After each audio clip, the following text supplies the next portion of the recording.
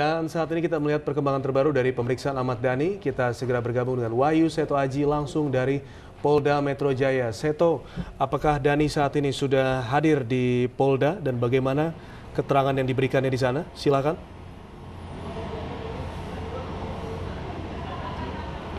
Ya baik Zaki dan juga Yufi bahwa musisi Ahmad Dhani pada hari ini kembali memenuhi panggilan penyidik Subdit Keamanan Negara di Treskrimum Polda Metro Jaya.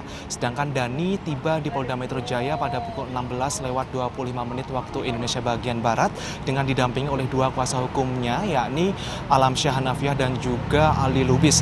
Dalam kesempatannya sebelum menjalani pemeriksaan di dalam ruangan, Dhani melalui kuasa hukumnya menjelaskan bahwa pemeriksaan kali ini adalah pemeriksaan lanjutan untuk uh, sebagai saksi bagi tersangka Sri Bintang Pamungkas dan diketahui bahwa Sri Bintang Pamungkas telah ditetapkan tersangka oleh penyidik Polda Metro Jaya dan dijerat dengan Undang-Undang Informasi dan Transaksi Elektronik.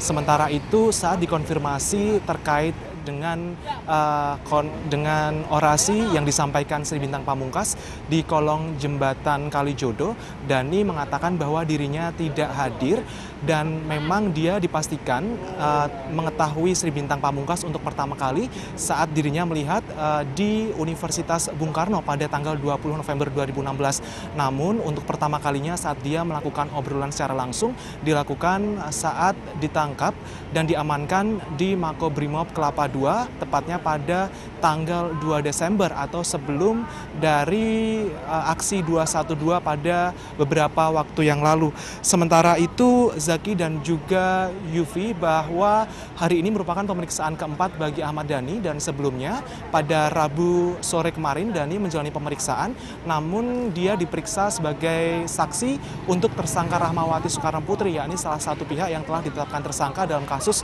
dugaan upaya makar oleh penyidik Polda Polda Metro Jaya.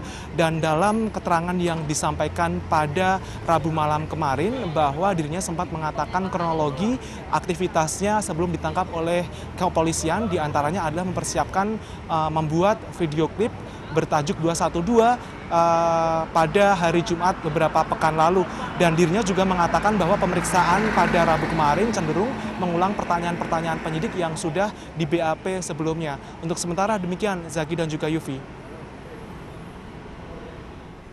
Ya, terima kasih Wahyu Seto Aji melaporkan langsung dari Diretskrimum Polda Metro Jaya. Dan Zaki tadi disampaikan begitu ya, bahwa Ahmad Dhani sudah datang hmm. pukul 16.25 dan saat ini tengah diperiksa di Polda Metro Jaya. Dan ada yang menarik sampaikan Seto tadi, sudah disiapkan video klip bertajuk 212. Luar biasa, kita lihat seperti apa perkembangannya.